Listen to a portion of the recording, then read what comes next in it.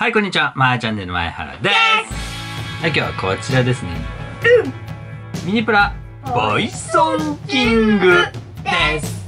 以前ですね、こちらの手裏剣陣を作りましたね。ちょっとね、片腕パーツがなくなって 外れちゃってるんだけども、えーその、えー第2弾バイソンキングが出ましたね。そしていつもの通り我が家では4箱すでに購入済みでここまでできております。あとは足だけだね。足を今回作っていきたいと思います。では作っていきましょう。ズブイブ。あ、間違えた。ズバ。なんだっけ？ババ いつもの通り箱の内側に説明が書いてありますね。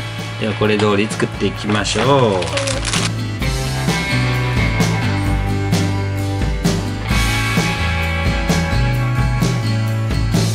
ということで完成しました。こちらがバイソンキングの足だね。はい、えー今回はですね、これだったのね。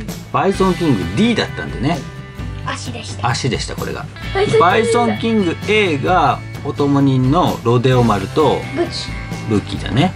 でバイソンキング B がこの牛の部分、うん、でバイソンキング C が手と任手裏剣だね。はい。それで早速ですね今ここまでバイソンキング出来上がってますので足がやったらさせようか、じゃあここでいくよ。トゥルルルルイーハー。バイソントゥルルルルイーハー。バイソンバイソンキング。トゥルルルルあ間違えてた。それシーチャン あ、そっかそっか。はい、こんな感じになりました。すごくいいじゃん。ジン手裏剣陣よりも全然よくできてるよ、バイソンキングの方が。うんねえ。あ、しまった。これそういえばバギーにもなるんだよね。うんバギーに後で変えてみようか。はい。で、ちゃんとですね、この肘も稼働するし、腕も上がるし、ちょっとね、こうやって横に上げられるんだよね。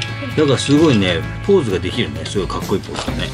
で、足もちゃんとこんな感じで膝曲がりますしね。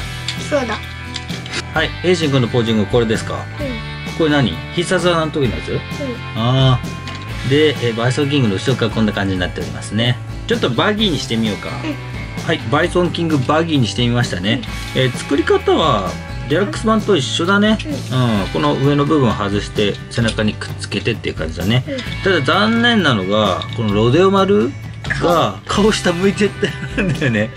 俺ちょ運転できないよって感じになっちゃってるけどね。んあふふふよろよろポインで姉ちゃんだよね一応転がしてこの車輪部分は動くようにはなってるんだけどやっぱりあんま動かない。浮いてるね多分。